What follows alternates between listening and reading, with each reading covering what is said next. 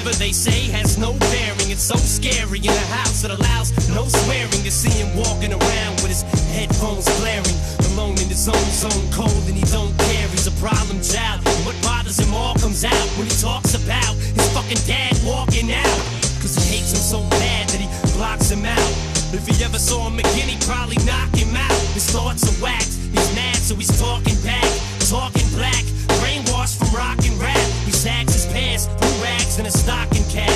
His stepfather hit him, so he socked him back and broke his nose. His house is a broken home. There's no control. He just lets his emotions go.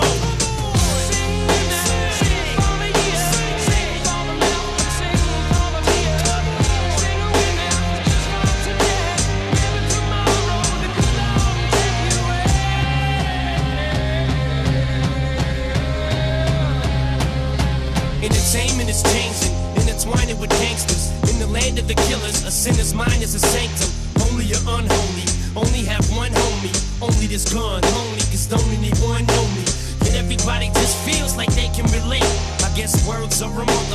They can be great, or they can degrade, or even worse, they can teach hate. It's like these kids hang on every single statement we make, like they worship us. Plus, all the stores ship us platinum. Now, how the fuck did this metamorphosis happen? From standing on corners and porches just rapping to having a fortune, no more kissing ass. But then these critics crucify you, journalists try to burn you, fans turn on you, attorneys all wanna turn it to to get their hands on every dime you have. They want you to lose your mind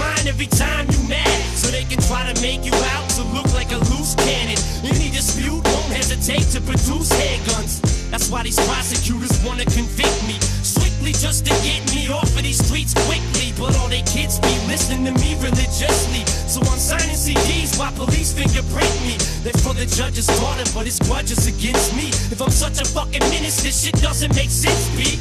It's all political. If my music is literal and I'm a criminal, how the fuck can I raise a little girl?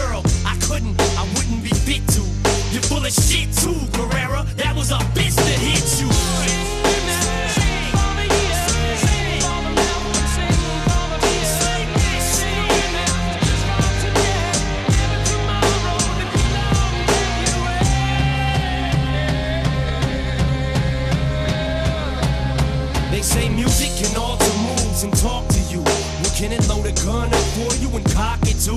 Well, if it can, and the next time you assault to do, just tell the judge it was my fault and I'll get sued. See, what these kids do is hear about us toting pistols and they wanna get one cause they think the shit's cool. Not knowing we really just protecting ourselves. We entertainers. Of course, the shit's affecting our sales, you ignoramus. But music is reflection of self. We just explain it. And then we get our checks in the mail. It's fucked up, ain't it? How we can come from practically nothing to being able to have any fucking thing that we wanted. That's why we sing for these kids who don't have a thing. Except for a dream and a fucking rat magazine. Who post pin-up pictures on their walls all day long.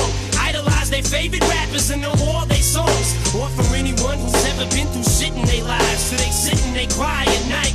Wishing they died. They throw on a rap record and they sit and they vibe with nothing to you. But with the fucking shit in their eyes. That's why we seize the moment. Try to freeze it and own it. Squeeze it and hold it. Cause we consider these minutes golden. And maybe they'll admit it when we're gone. Just let our spirits live on through our lyrics that you hear in our songs.